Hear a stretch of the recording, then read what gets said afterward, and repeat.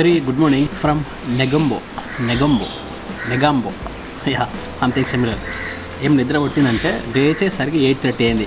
Alarm కూడా set చేయలేదు. ఎందుకంటే మళ్ళీ అదొక డిస్టర్బెన్స్ ఈరోజు అయితే బాగా పడుకుందాం అనుకున్నా. సో ఎయిట్ థర్టీ ఫోర్కి లేచిండే. జస్ట్ ఎంతమంది బయటకు వెళ్ళి టూత్ బ్రష్ అది తీసుకొచ్చి బ్రష్ చేసి కాస్ కొంచెం ఫ్రెష్ అయ్యి బ్రేక్ఫాస్ట్కి వచ్చినా అనమాట ఇంకా లగేజ్ అంతా ఆగమాగం ఉంది. సర్దాలి అది. సర్ది బైక్ మీదకి ఎక్కించి నెక్స్ట్ కొలంబో వైపు వెళ్ళాలి. యాజ్ అ మెన్షన్ ఇన్ ప్రీవియస్లో వెళ్ళి అక్కడ ఆ టెంపరీ డ్రైవింగ్ లైసెన్స్ అద్దె చేసుకొని నెక్స్ట్ది తర్వాత ప్లాన్ చేసుకోవాలన్నమాట.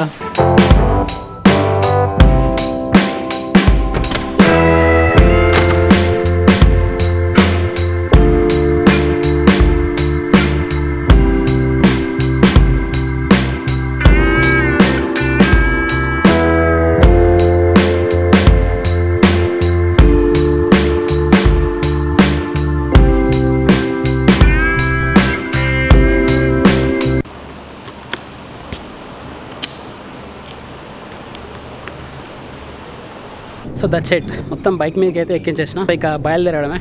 టైం వచ్చి టెన్ థర్టీ త్రీ సో ఇక్కడ నుంచి ఒక థర్టీ కిలోమీటర్స్ అంటే probably by eleven eleven fifteen మనం కొలంబో ఆఫీస్ దగ్గర ఉంటాం. Where we gonna take the licence and yeah that's it I'll see on the bike జై Hanuman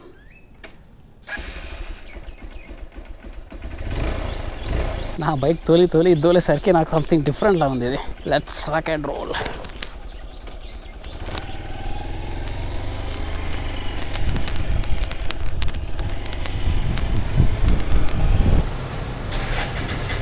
so Sri Lankan currency ఇలా ఉంటుంది అన్నమాట థౌజండ్ రూపీస్ నోట్ ఇది boss. So one litre is one fifty seven rupees Sri Lankan rupees. Thousand rupees.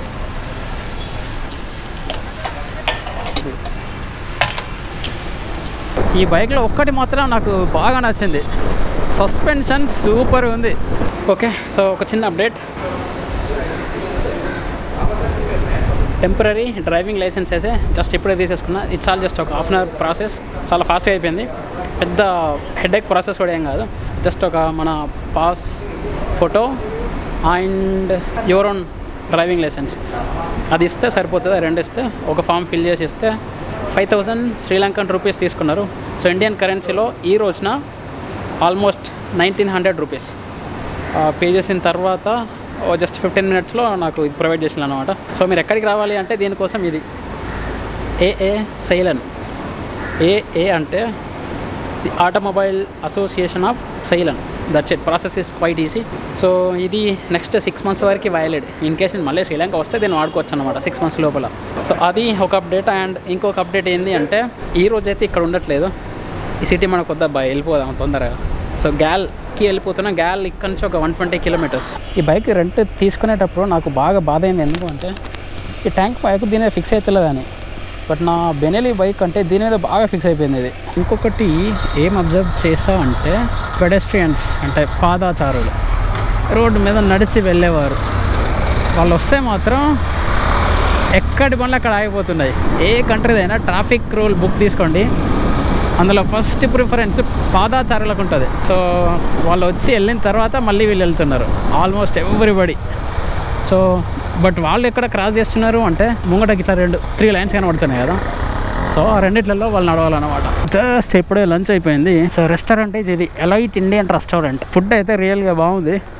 So vegetable biryani and just fruits అలా try చేస్తుండే. Prices decent మేము Sri Lanka dish try చేద్దాం అనుకున్నా but బాగా ఆకలి అవుతుండే సో దానివల్ల ఇప్పుడు రిస్క్ ఎందుకని చెప్పి ఇండియన్ రెస్టారెంట్ కనబడంగానే ఇక్కడికి వచ్చేసిండే. But food is good. ఇంకొకటి కొంచెం డిఫరెంట్. ఈ సిటీ అసలు ఎండ అవ్వట్లేదు ఆల్మోస్ట్ ఒక సిక్స్టీ కిలోమీటర్స్ వచ్చుంటా.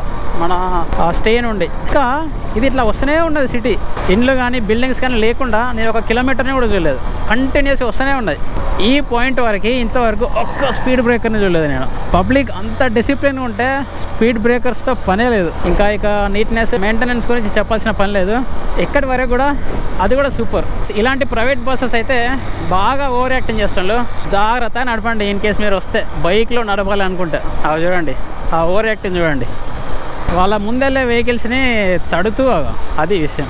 గవర్నమెంట్ బస్సే సార్ ఓకే. అంత ఓవర్ యాక్టింగ్ లేదు.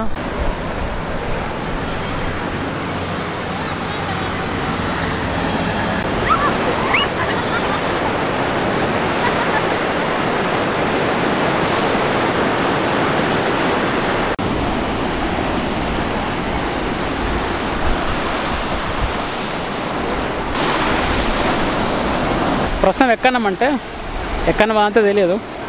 ఇంకొక ట్వంటీ కిలోమీటర్స్ అయితే గ్యాల్ వెళ్ళిపోతాం. అప్పటి నుంచి అనుకుంటున్నా ఏదో ఒక బీచ్ దగ్గర ఆగాలని. ఎందుకంటే ఇదంతా బీచ్ రైడ్. అక్కడ నుంచి స్టార్ట్ అయింది ఇంకా అయిపోలేదు. ఒక మంచి లొకేషన్ కోసం చూస్తూ ఉంటే మొత్తానికి దొరికింది. సో ఇంకా ఈ శాండ్ ఇక్కడ వరకే ఉంది. అటు తర్వాత శాండ్ లేదు మరి ఇదంతా ఏమో తెలియదు. బ్లాక్గా కనిపిస్తుంది అది.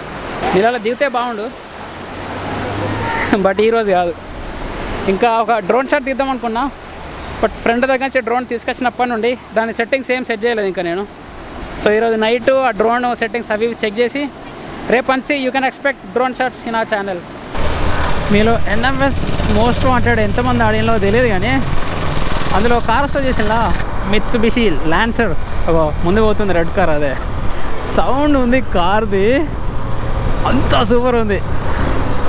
చచ్చో వెళ్ళిపోతుంది. వెల్ బై ద వే గ్యాల్కి వచ్చేసినాం.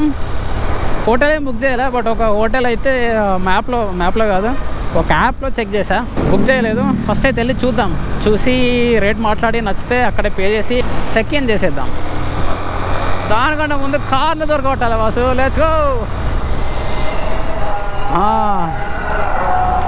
సీరియస్ మిక్స్ వేసే కాదు ఎట్లుంది చూడండి. ఆహా.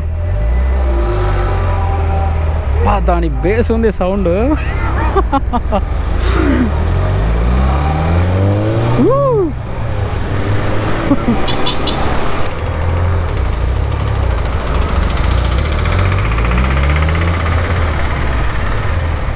కొంటే ఇట్లాంటి కార్ కొనాలా? నేను కొంటానో లేదో తెలియదు. బైక్ అయితే కొంటా ఖచ్చితంగా బైక్ అయితే ఒక థౌజండ్ సీసీ బైక్ అయితే ఖచ్చితంగా ఉంటా కార్ సంగతి తెలియదు ఇక. కొలంబోతో కంపేర్ చేస్తే గ్యాల్ అయితే చాలా బెటర్ అంత రద్దీ లేదు. కొంచెం పీస్ఫుల్గా ఉంది. కొలంబో అయితే శ్రీలంక రాజధాని కాబట్టి ఎక్స్పెక్ట్ చేయొచ్చు. City stay city stay yeah it is this ఇక్కడ ఉంది హోమ్ స్టే వెళ్ళి అడిగేద్దాం. అడిగేద్దాం. ఉన్నాయో లేవో చూసేద్దాం.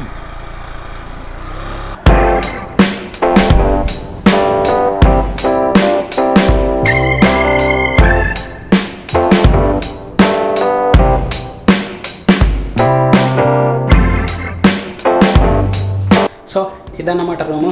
ఫోర్ థౌజండ్ రూపీస్కి వచ్చింది I mean four thousand Sri Lankan rupees. So close to twenty one dollars. Still it's a good deal.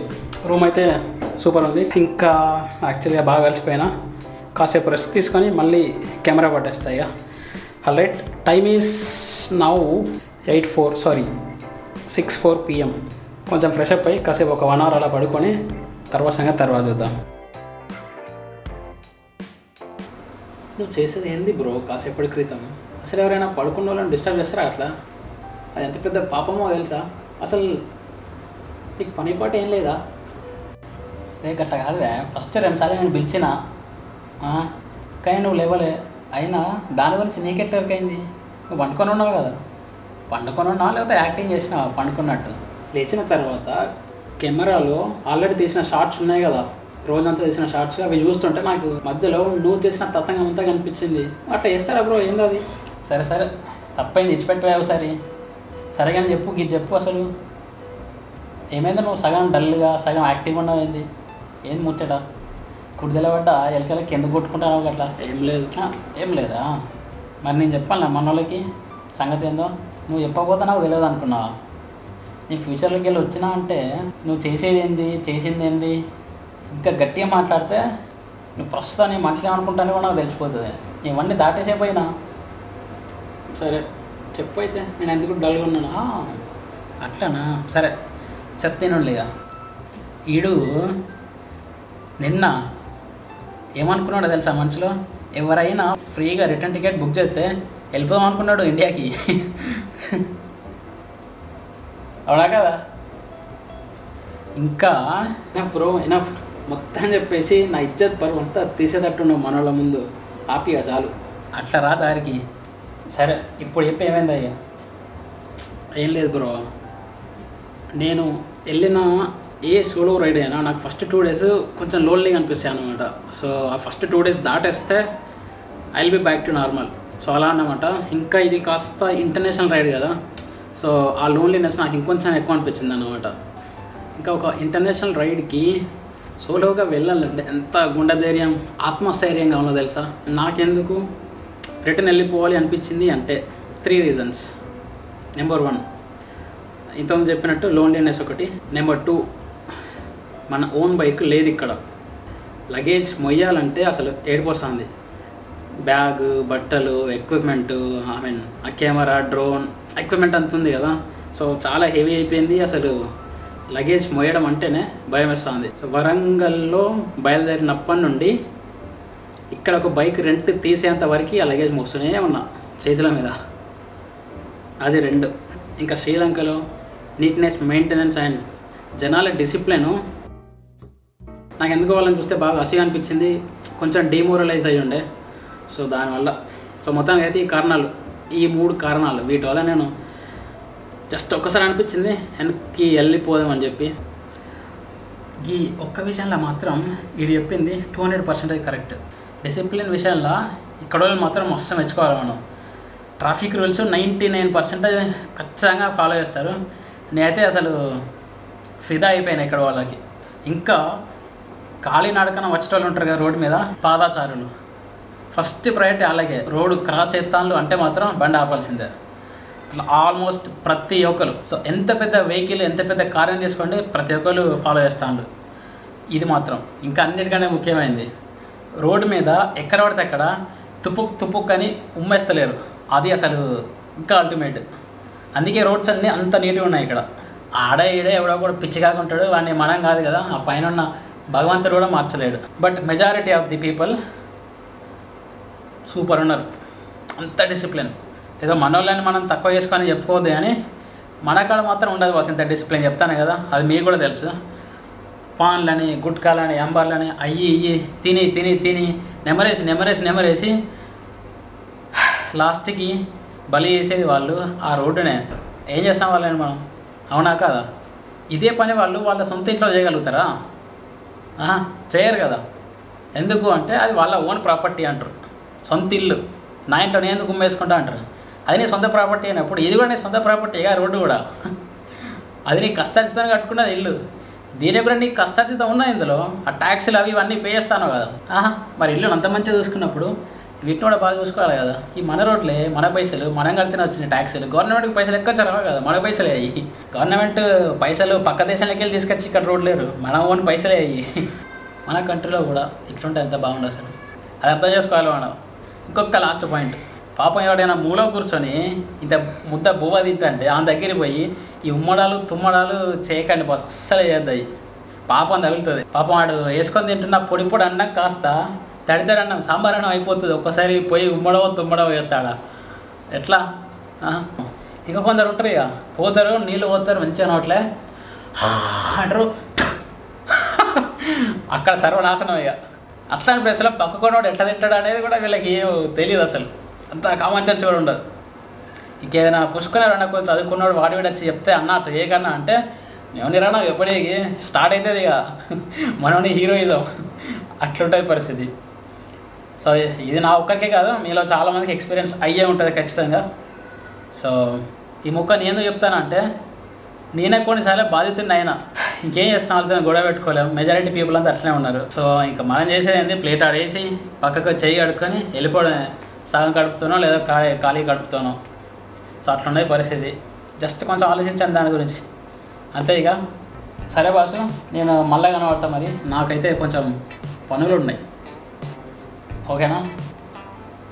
నువ్వు కానీ ఇక.